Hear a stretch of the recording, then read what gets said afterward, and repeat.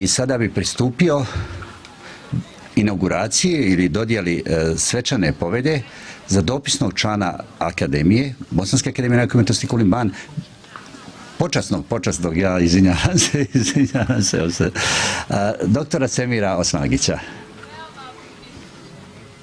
Nakon planetarne blamaže s bosanskim piramidama koja i danas traje, Semir Osmanagić je da bi sačuvao samopoštovanje razvio bolesnu potrebu da mu se ljudi obraćaju sa doktore i akademiče.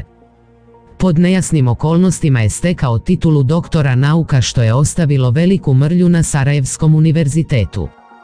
Semir naime nema nikakvo stručno predznanje iz predmetne oblasti te nema publiciran niti jedan rad u naučnim časopisima. A mene ljudi zovu Semir Osmanagić. No smiješnom šeširđi ljudi su se i nadalje obraćali sa Semire pa mu nije preostalo ništa drugo nego da samog sebe u svakoj prilici naziva doktorom. Doktor Semir Osmanagić. Ali Semir u svojim očima nije dovoljno važan pa želi biti akademik. Više je struki akademik. Ja sam član dvije Svjetske akademije nauke i umjetnosti. Nažalost, nijedna akademija ga nije primila pa se redovito prijavljuje udruženjima građana koja u nazivu imaju riječ akademija. Najnovije takvo udruženje je udruženje Bosanska akademija nauka i umjetnosti Kulin Ban. Budući da su primili Osmanagića koji već 18 godina osim sebe sramoti i struku i narod i državu, a naivne i bolesne dovodi u zabludu i opasnost, bilo bi im bolje da u naziv stave Lakrdija umjesto Akademija.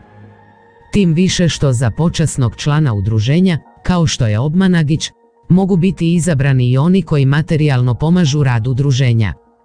Tako je Šeširđija pronašao način da se neobrazovanom narodu predstavlja i kao akademik, čime je donekle utažio svoju bolesnu potrebu i privremeno sačuvao krhko samopoštovanje trajno narušeno planetarnom blamažom. Član sam četiri akademije nauka. Tu došli ja nikad ne insistiram da me zovu akademik. Kad e, nažalost institucije e, vlasti primarno u visokom i u ZEDO kantonu budu godinama davali e, novac koji se neće ni na koji način i približno refundirati, ovaj, shvatit će da je to uzaludan posao grupe ljudi kojima očito je potrebna, nažalost, medicinska pomoć. Šta ćete vi za svog života još otkriti?